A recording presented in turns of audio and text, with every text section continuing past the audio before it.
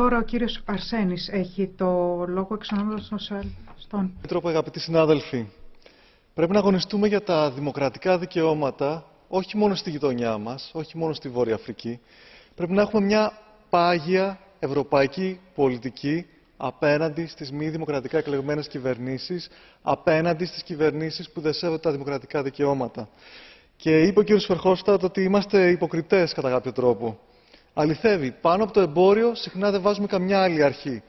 Χαρακτηριστικό παράδειγμα είναι και η συμφωνία στο Μερκοσούρ, που για χάρη του ανοίγματος του εμπορίου θυσιάζουμε ευχαρίστως το 11% του Αμαζονίου, αλλά και εκατομμύρια Ευρωπαίους αγρότες. Σε όλα αυτά φταίει και η Επιτροπή, κύριε Επίτροπε.